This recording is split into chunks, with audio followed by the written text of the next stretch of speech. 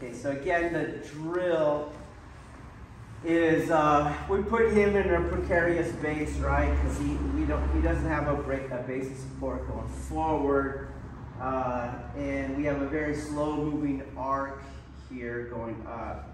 Okay, what I mean by that is this is on a circumference due to the ball and socket joint. Okay, and this, so this makes this a very easy drill to understand what matching yang values are. Again, remember cosmologically, when I match yang values, the universe goes, I don't see two things, and it treats it as one.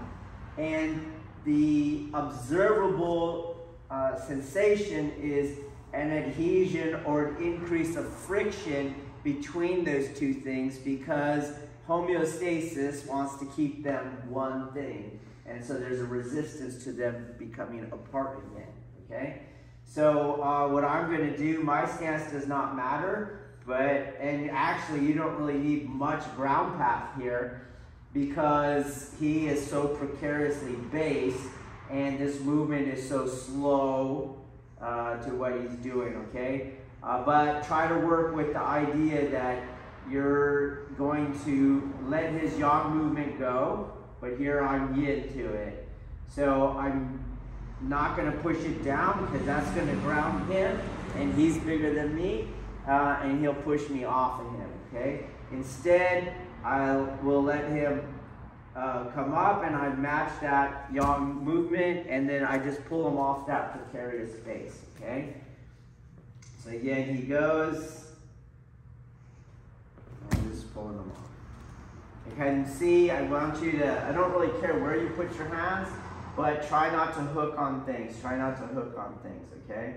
Let the energy do its, do its own thing, okay?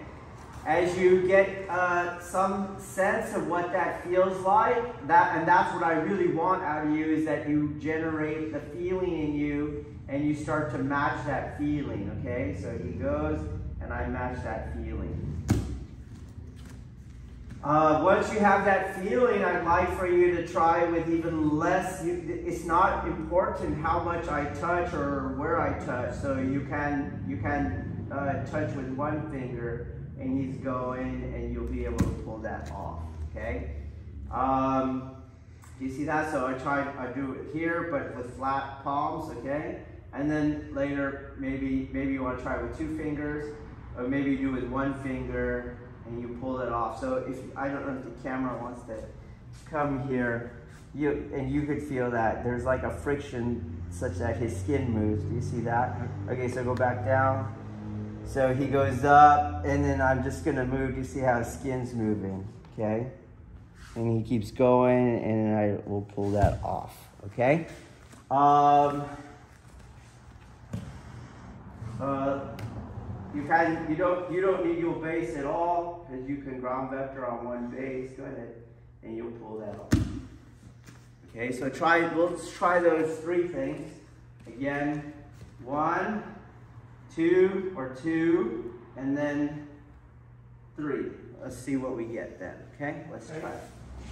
All right, so if you if you, you guys should recognize that this is pretty slippery for me. Okay. Uh, ground vectoring, vectoring doesn't have anything to do with how sticky my feet are, okay? Um, and the reason you want to understand that is, and why I describe it as matching yang values as opposed to pulling on skin or working faster or anything like that, is that yin and yang are relative, okay? So um, the more I release, the higher his yang value is to what I'm doing. You, you guys get that? Okay, so it, this looks like it's very minor, right? But I can make it more minor by being very relaxed. Go ahead. And you see that his skin right at the beginning. Did you see that? Right. So again, my hand is very light. I'm very relaxed. Psychologically, spiritually, I have released everything. And so as I go, we're already at that sticky part. Do you see? And I can push it back even. Okay? You can move it. Because there's always yang. I don't need that to happen. As I'm relaxed, I could make his yang value relatively increase and you could get the effect, okay? Do you guys understand that? So as you're trying all these drills, you want to try to release more and you could do different, you could do all those stuff without him having to push hugely into what you're doing. You see that? At the at at, at touch, don't put your arm there. You just right there. At touch, you could already do that. You see? You get that? Okay. Uh, likewise, I don't know if it's possible, but here um, it, it looks like because he's going up against my hand that um, that that is somehow mechanically responsible for what we're seeing. Again, I do acknowledge that we set him up like this because it's easier to get the feeling, okay? Uh, and we have to have the feeling in order to keep trying to find that feeling and then develop that skill. Uh, but in terms of energy, there should be no reason why I have to be here. You understand? I, I can be he, here in front and he goes to, to lift his arm. Again, if I'm too light, he'll slide off. If I'm too heavy, it's pushing me. You see that? But I can, that is yang, and he goes, and I can start pulling that thing from not being on top of it. Got it? Okay, in order to do that, I have to be able to make whatever his yang is quite relatively high, which I do by releasing my, my value.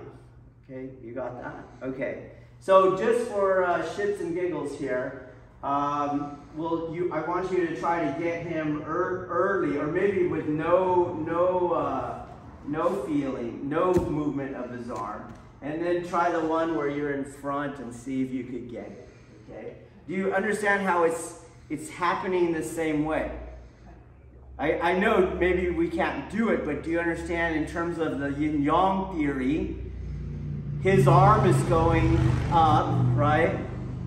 And I will match that value, and the universe will go, that's one thing. And as I pull my one thing here, he gets kind of stuck to it. You guys see that? Okay. All right, just for shits and giggles, try. But use that other drill uh, quite frequently. Like you guys show up and just try the other drill and then keep trying to re release, release, release. Again, spiritually, psychologically, emotionally, right? Rel release the tension in the fear locations of your body and try to do the same feeling, keeping the feeling. Don't try to move him. You already know you can move him. Try to keep the feeling that was there when he moved. And that's what you try again over and over, okay? All right, let's try this one for shits and giggles.